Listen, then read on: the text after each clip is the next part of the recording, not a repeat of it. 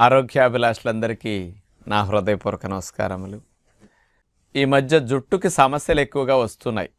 రెండు సమస్యలు ఎక్కువ మందిగా అడుగుతూ ఉంటారు. నాకు ఎక్కువ జుట్టు రాలిపోతున్నదండి అని కొందరు అడుగుతుంటారు. మరి కొందరు నాకు కొత్త జుట్టు రావట్లేదండి పలచగైపోతున్నదండి అని అంటుంటారు.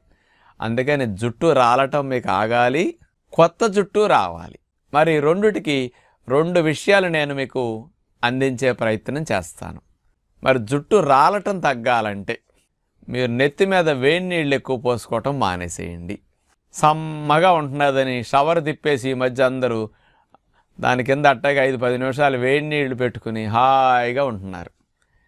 కొంతమందికి రోజు పోసుకునేసరికి ఆ వేడి అలవాటైపోయి ఇంకా నలభై ఐదు యాభై డిగ్రీల వేడి నీళ్ళ వరకు పోసుకుంటూ ఉంటారండి. నలభై డిగ్రీలు దాటి నెత్తి మీద వేడి నీళ్ళు పోసినప్పుడు జుట్టు కుదుళ్ళలోకి పైనుండే స్కాల్ప్ నుంచి కూడా జుట్టు కుదుళ్ళలోకి హెయిర్ ఫోరికల్స్లోకి హీట్ వెళ్ళి లోపలుండే నీటిని ఎవాపరేట్ చేసేస్తున్నది హీట్. జుట్టు కుదుళ్ళలో రక్తాన్ని కూడా తగ్గేటట్టు చేసేస్తున్నది. అంచేత జుట్టు డ్రై అవ్వటానికి జుట్టు కుదుళ్ళు అన్హెల్దీగా అయిపోవటానికి కారణం వేడి నీళ్ళు నెత్తికి రోజు పోసుకోవటం. చాలామంది ఏంటంటే రెండు రోజులకోసారి షాంపూ పెట్టడానికి వేడి నీళ్ళు ఉంటేనే షాంపూ పెడుతుంటారు. అంచేత వేడి వేడి నీళ్ళు నెత్తికి రోజు ఎక్కువసేపట్ల పోయటం మంచిది కాదండి.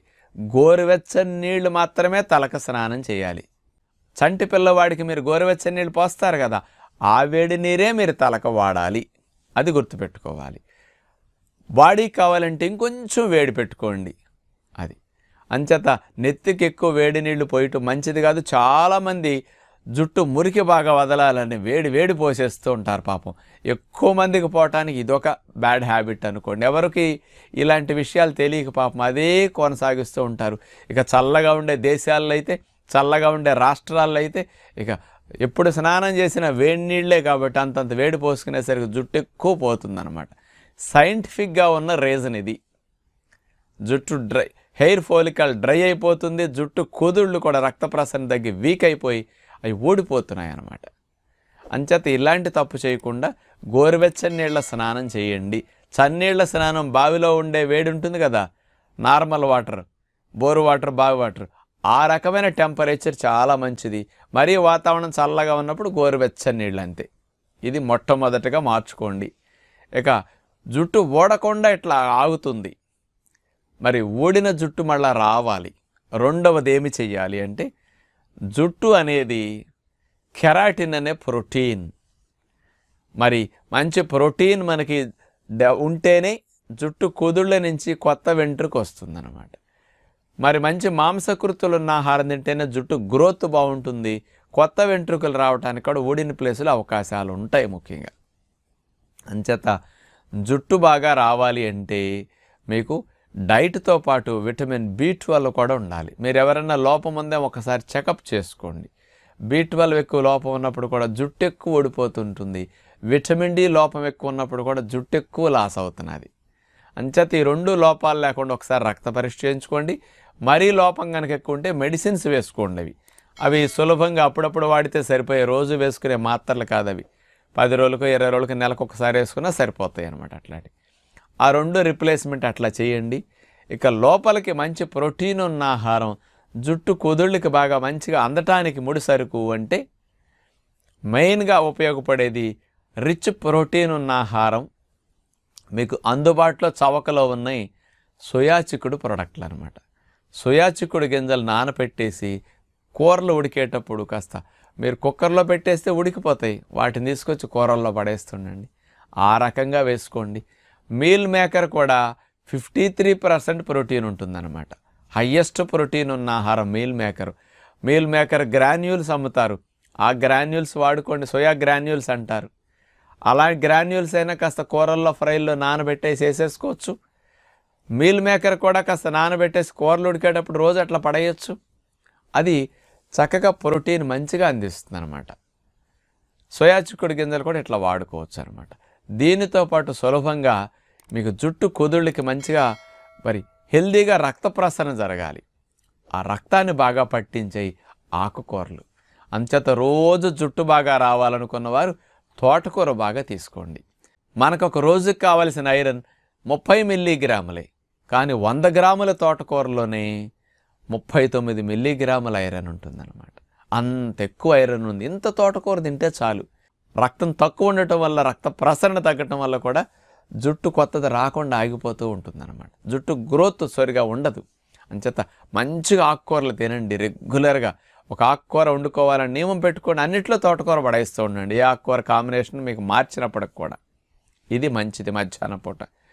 అలాగే మీరు ఇంకెప్పుడైనా సరే డబ్బులకి ఇబ్బంది లేకపోతే కొంచెం బాదం పప్పులు జుట్టుకి చాలా మంచివి అనమాట అవి. మంచి ప్రోటీన్ ఇంకా అనేక పోషకాలు ఏవో ఉన్నాయి స్పెషల్గా. అందుకని బాదం పప్పులు తిన్నప్పుడు మాత్రం మాకు జుట్టు రావట్లేదండి. కొత్త జుట్టు బాగా వస్తున్నదని చాలామంది చెప్తారు.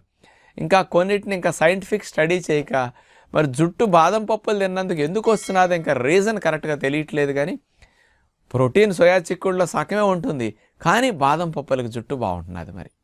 డబ్బులు ఇబ్బంది లేకపోతే ఒక పది ఇరవై బాదం పప్పులు రోజు నానబెట్టి తినడానికి ట్రై చేయండి.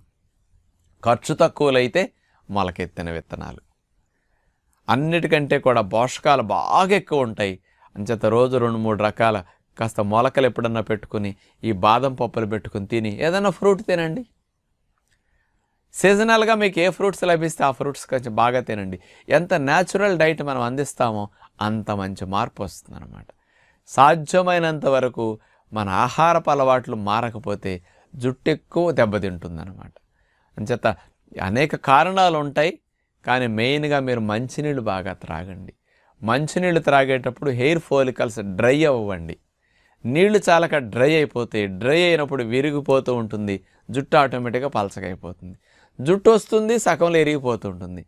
అంచేత జుట్టు మొదట్లో ఉంటుంది పైకి జుట్టు కనపడదు కాబట్టి మీకు ఒత్తుగా అనిపించదు. జుట్టు పలచగా అయిపోతున్నట్టు అనిపిస్తుంది అనమాట మంచినీళ్ళు బాగా త్రాగటం కూడా ఒకటి చేయాలన్నమాట. ఇలాంటి నియమాలు కనుక మీరు ఆచరిస్తూ ఉంటే జుట్టుని సంరక్షించుకోవటం మీ చేతిలో ఉందన్నమాట. అందుకని జీన్స్ ఎఫెక్ట్ మనకు ఉన్నప్పటికీ మనం ఇలాంటి మంచి పోషకాలు అందిస్తూ కొన్ని హాని కలిగించే పనులు మనం ఆపేయటం ద్వారా కాస్త జుట్టు కుదుళ్ళ నుంచి మంచి వెంట్రుకలు వస్తాయి. ఆ వెంట్రుక గ్రోత్ బాగుంటుంది. ఎరువేస్తే చూడండి చెట్లు ఎట్లా ఎదుగుతాయి మంచి ప్రోటీన్ ఫుడ్ పెడితే జుట్టు అట్ట ఎదుగుతుంటుందనమాట అంచేత ఇలాంటి మంచి నియమాలకు కాస్త మంచి మంచి ఆహారాలు తింటే జుట్టు కోసం మీరు ఈ ఆహారాలు తింటే శరీరానికి ఇంకెన్ని లాభాలు వస్తాయి ఆలోచించుకోండి. వీటికి మించిన పరిష్కారం మందుల్లో ఎప్పుడు ఉండదన్నమాట. తాత్కాలికంగా ఇస్తాయి జుట్టుకు మాత్రమే పనికొస్తాయి ఏదైనా మెడిసిన్ వాడితే. ఇతర అవయవాలకు ఉపయోగపడవు. మంచి ఆహారం అయితే జుట్టుకి మరియు ఇతర అవయవాలకి రక్షణ వ్యవస్థకి ఆరోగ్యానికి అన్ని లాభాలు ఇస్తాయి కాబట్టి మంచి ఆహారపు అలవాట్లను మించిన మందు లేదని మీరందరూ గ్రహిస్తారని ఆశిస్తూ नमस्कार